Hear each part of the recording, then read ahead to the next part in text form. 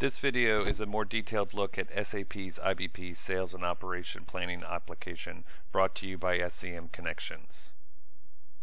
In the last video we talked about sales and marketing forecast and how the demands from sales, sales managers, and marketing professionals was introduced into the data model. In today's video we're going to talk about consensus demand planning and show not only how those demands are consolidated but also the demands from the demand planner into one final consensus demand. We'll also talk about statistical forecasting and how that's done in the tool.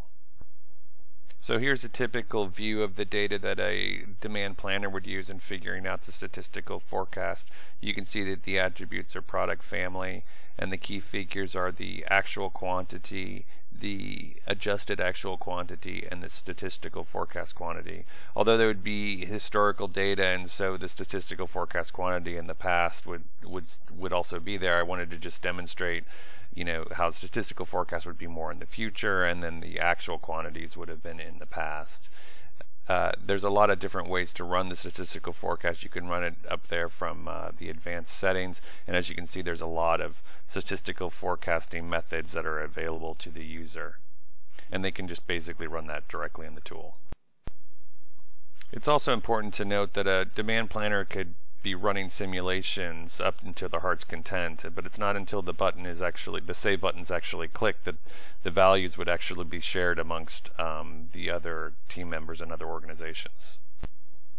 Now that we've maintained all of the demands from various organizations, we come to this view of the data, which is essentially all the demands listed in one place. So you can see that the attribute is product family and customer and you can also see that the key figures are sales forecast quantity, sales manager forecast quantity, the marketing forecast quantity, promotional uh, quantity, statistical forecast quantity, and a new key figure that we haven't seen yet, which is the consensus demand plan quantity.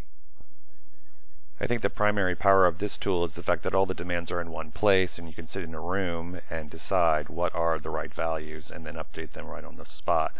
You may have to drill into some of the data to understand where some of the numbers come from and right here I'm showing how it's easy to change a query by removing or adding attributes.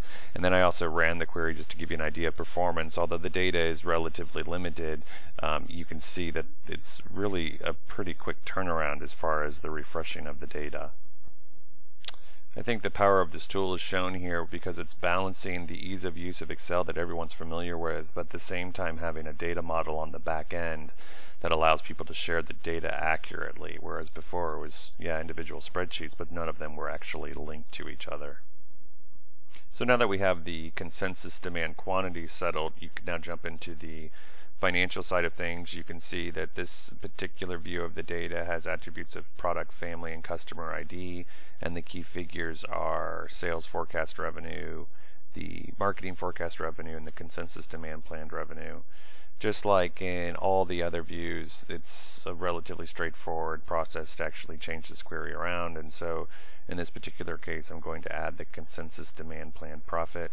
Right now, out of the box SAP configuration has the profit as a pretty basic calculation, but um, behind the scenes you can create calculations uh, that would make the calculation relatively sophisticated. Since you can easily import long-range business plans, it's also a simple matter to set up alerts to see where revenues are not meeting the long-term plans. So to summarize this section on consensus demand planning, you saw, saw from the statistical forecasting perspective that there were multiple forecasting options. Um, you can run several what-if scenarios until saved or even promote them into a production environment.